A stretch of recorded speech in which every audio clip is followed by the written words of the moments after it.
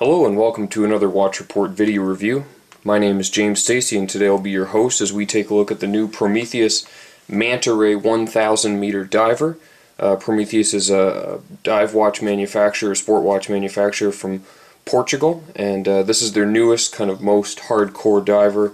Pretty serious piece of kit, uh, big chunky case, really cool interchangeable bezel system uh, and I'm really quite excited to be able to show you um, a watch from this brand because we've uh, reviewed a few of their watches in the past. So let's take a look. So this is the Prometheus Manta Ray. This model is the 1H. Uh, the 1H de delineates the uh, white dial, the Arabic numerals, and the blue accents on the hands. Um, it comes with a black or an orange dial models as well. Uh, with the Prometheus Manta Ray, you're getting a 44.5 millimeter stainless steel case, 15.8 millimeters tall, 52.5 uh, millimeters long, so it is a fairly long uh, watch. 22 millimeter lugs, which house a fully solid stainless steel bracelet. You get a trick uh, bezel interchanging system, so we can actually swap it for this black bezel, which I'll show you uh, in a couple of minutes. Uh, you get a sapphire crystal, it's flat, has an internal anti-reflective coating. The uh, watch is powered by an ETA 2824-2 automatic movement, so you get your date at 3 o'clock and about a 37-38 hour power reserve. This example is keeping excellent time.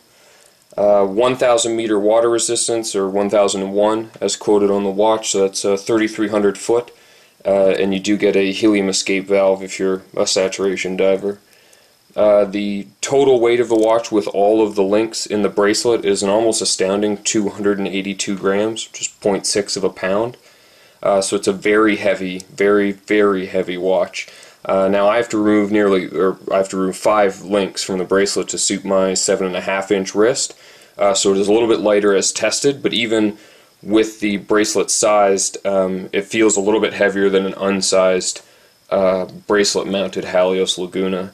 Uh, so this is a heavy watch. Uh, you're going to like it if you prefer a heavy watch. If you're not so sure, uh, you know, maybe try and find something of a similar weight and get it on your wrist. Along with the uh, with the 282 gram weight, uh, part of that's going to be this lovely bracelet, which is full hex key construction, solid stainless steel bracelet. You get a fold over push button clasp with a ratcheting extension, which I can show you in more detail in a moment. So the first thing to be of note is the case. Uh, looks to be a fully proprietary case. I haven't seen a case like this on another uh, boutique brand diver. You get a crown at 4 o'clock. The crown itself is not does not screw into the case, which you'll see here. Just screws in against it. It actually looks like an air filter, which I rather like. The crown is very solid, and if you remove it here, you'll see the threading It's very wide, very large, and very easy to use, and that makes the uh, crown action very simple. No problem at all. When you have it ready, easily one of the, the most simple to use crowns I found on, uh, on any of these divers. Uh, the bezel is also very nice, uh, so not only is it fully interchangeable, but the action's excellent. It's very mechanical. It exhibits almost no play between the points. And it's very positive. It's easy to pick a point and then get to it. Uh, it's connected by uh, six of these little hex keys. These are 1.5 millimeter uh, screws used all around, and uh, to accurately adjust the bracelet or the um, lugs, you will need two keys, such as you see here.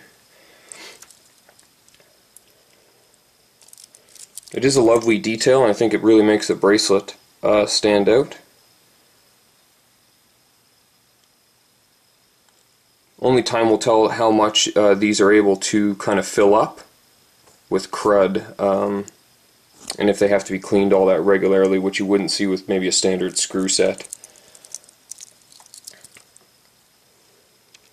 What we'll do now is we'll just take a nice closer look at the bracelet itself.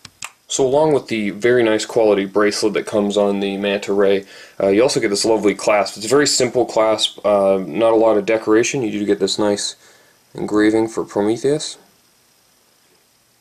But the, uh, the clasp itself, uh, the first button here actuates as you can see, a ratcheting extension. This is kind of all the rage on um, dive watches in general, as uh, you don't have kind of the flimsy twin fold-out uh, clasp that you see on older style.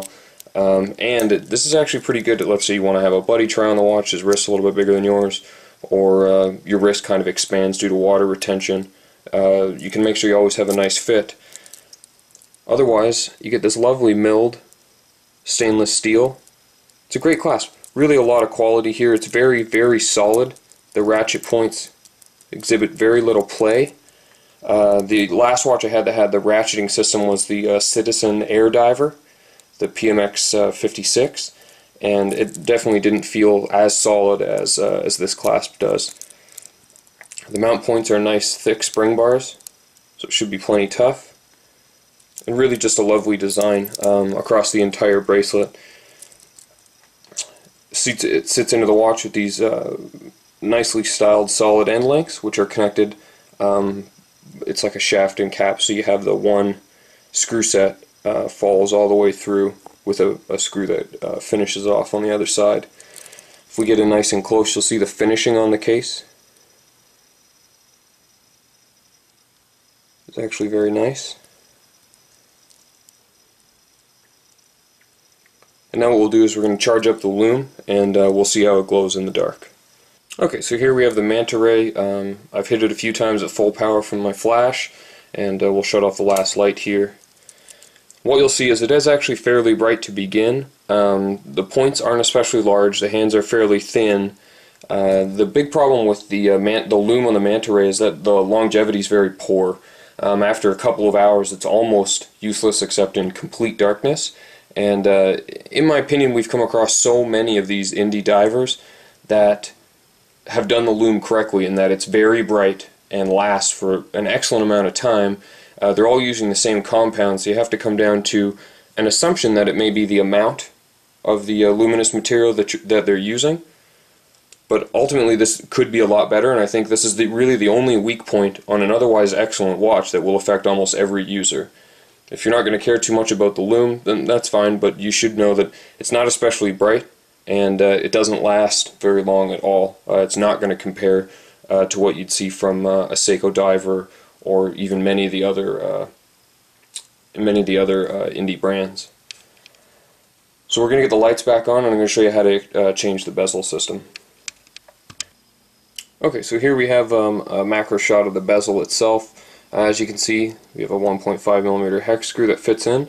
There's a very, very important note to make here, as I ruined one of these screws uh, not realizing. These screws in the bezel are counter-threaded, meaning if you want to tighten them, you turn them left. And if you want to back them out, turn them right. And that's about all it takes, and you'll see the screws now extended. We'll do this to each one. Through the magic of video, you don't have to watch in real time. Uh, so here you'll see I've removed the stainless bezel. This is what you're left with. It looks a lot like any other dive watch that has had its uh, bezel removed. This is the spring that actually causes the clicking. It's a circular spring with these little tabs that keeps the bezel from only going one way. Here we have this one. So this is the black one. It kind of has uh, like a UTS style ratcheting or ratchet style interior. And uh, on this again counter threaded so you'll need to back this off a little bit really just until they protrude. And here we have the black bezel mostly fitted on. See there's a couple left and be sure when you're tightening it it's the reverse of what your brain wants to do. It's left. And we have one more left here to do